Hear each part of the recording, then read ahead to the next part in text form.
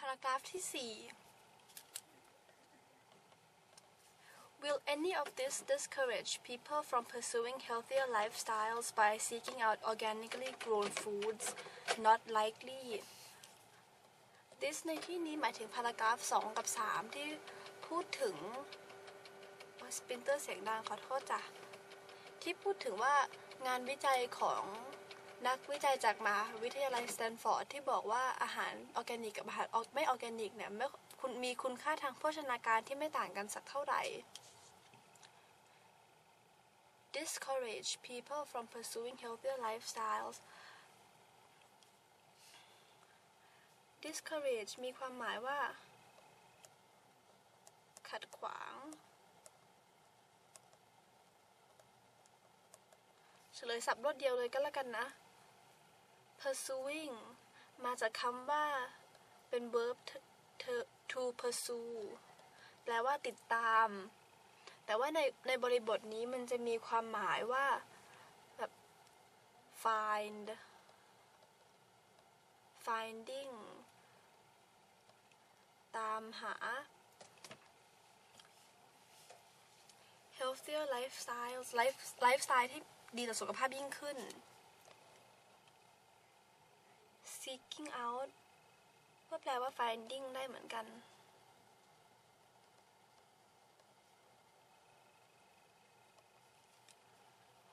organically grown food อาหารที่ปลูกปลูกอย่างแบบเป็นชีวจิตออแกปลูกแบบออร์แกนิก not likely ไม่น่าจะเป็นไปได้ ดังนั้นประโยคทั้งหมดตรงนี้มีความหมายว่า การวิจัยชิ้นนี้มันจะมาขัดขวางหรือ มันจะมาขัดขวางคนจากการพยายามตามหาสุขตามหาไลฟ์สไตล์ที่ดีต่อสุขภาพยิ่งขึ้น ด้วยการกินอาหารออร์แกนิก ด้วยการหาอาหารออร์แกนิกมากินหรือเปล่าคำตอบคือไม่น่าไม่น่าจะใช่ ประโยคต่อมา The organic produce market was a 12 12.4 billion dollar business last year compared to 9.8 billion the year before หยุดตรงนี้ก่อนนะ produce อีกรอบ เดี๋ยวแปลเดี๋ยวเฉลยคำศัพท์อีกรอบหนึ่ง produce เผื่อลืมไปแล้วก็คือ ผลิตภัณฑ์ที่ได้จากสัตว์หรือว่าพืช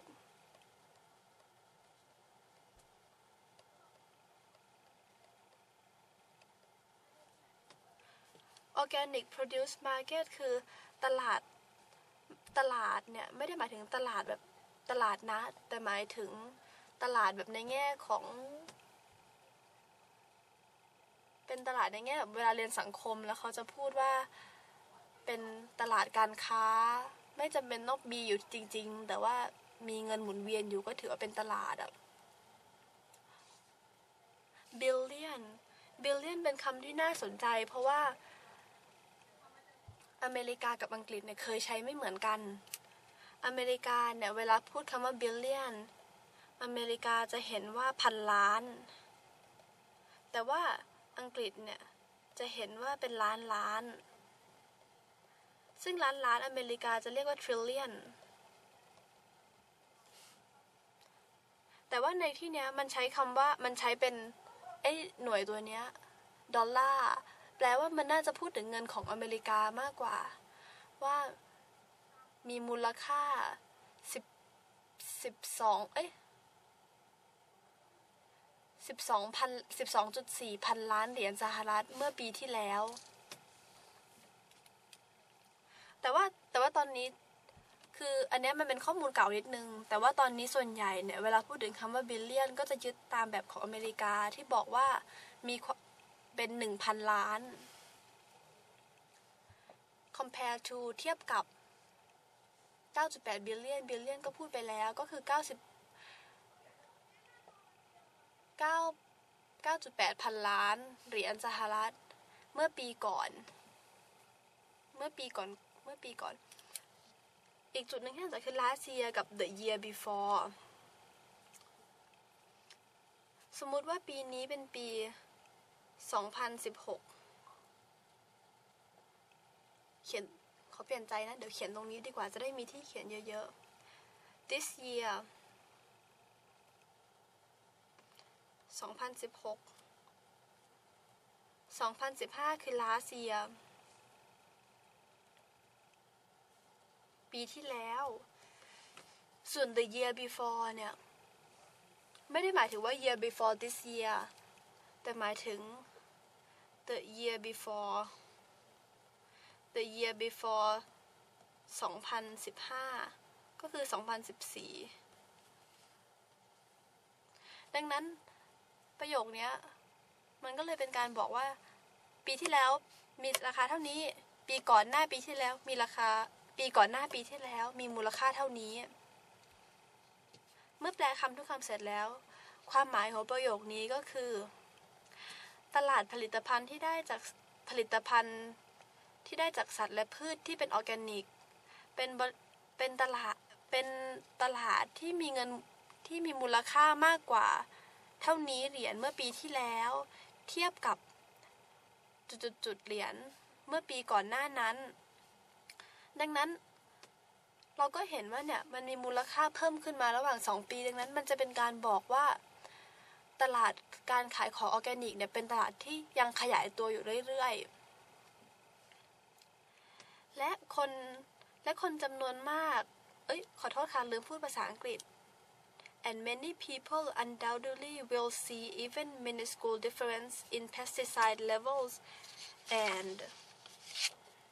ขอโทษนะคะ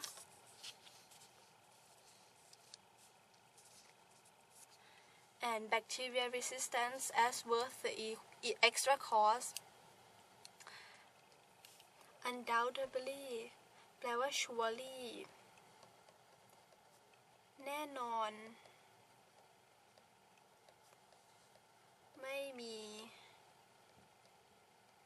ข้อกังขา minuscule แปลว่า tiny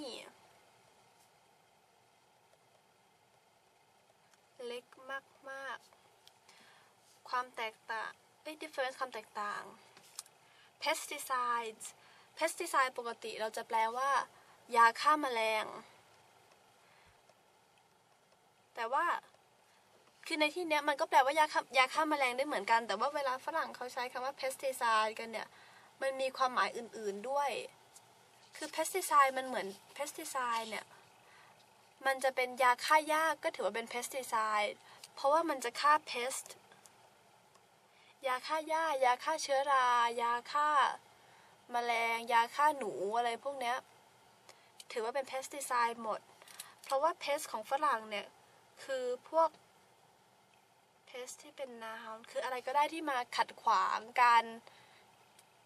ขัดขวางสิ่งที่เราทำอยู่อะยกตัวอย่าง pest เช่น หนู หญ้า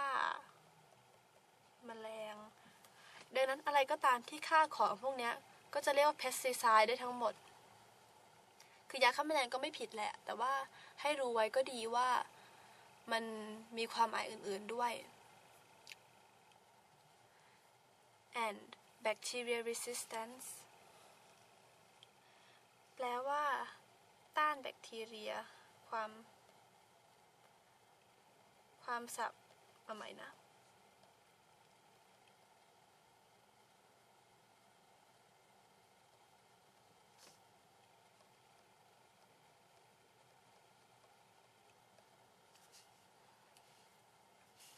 worth the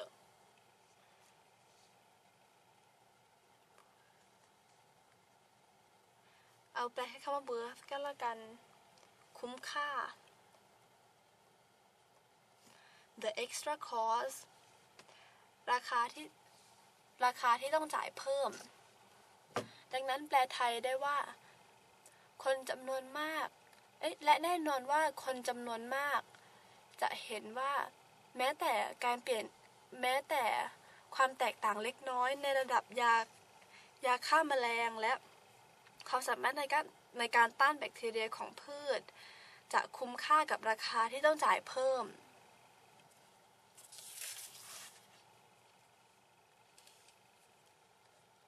และอันนี้ก็จะเป็นประโยคสรุป Eating foods that don't contain synthetic pesticides, hormones, or addit- additives is a lifestyle choice as much as a strategy for dietary health. contain ปกติเนี่ยจะมีความจะแปลว่าบรรจุ แต่ว่าในบริบทนี้เนี่ยคำว่า contain จะแปลว่ามีก็ได้ มี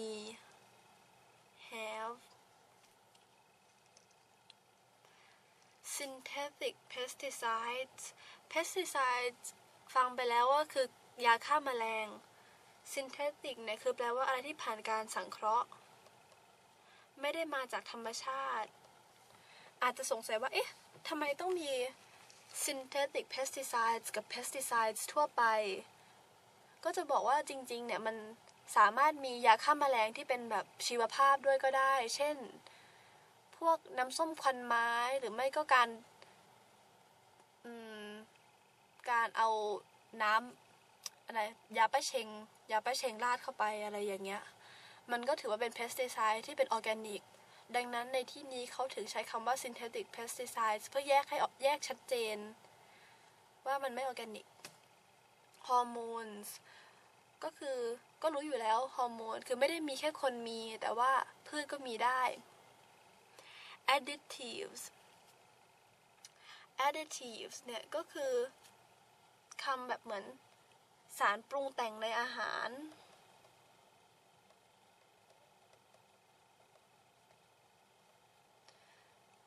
สารปรุงแต่งในอาหาร เช่น ผงชูรส ยาสารกันบูดอะไรอย่างเงี้ย ถือว่าเป็นเพสถือว่าเป็น additives ทั้งคู่ ก็คือปรุงแต่งให้รสชาติดีขึ้น เก็บได้นานขึ้น ทำให้สีสวย ทุกอย่างนะว่าเป็น additives is a lifestyle choice as much as อุ้ยขอโทษสิ ยังไม่ต้องยังยังจะไม่แปลทั้งประโยค เดี๋ยวฉีกตอนนี้แค่อ่านแค่แค่ให้ดูศัพท์ยากๆก่อน strategy ภาษาอังกฤษคำที่ใกล้เคียงกันมาก แทบจะเป็นคำเดียวกันเลยคือคำว่า plan ดังนั้นภาษาไทยก็ใช้คำว่าแผนก็ได้แผนการ dietary health สุขภาพเกี่ยวกับการกิน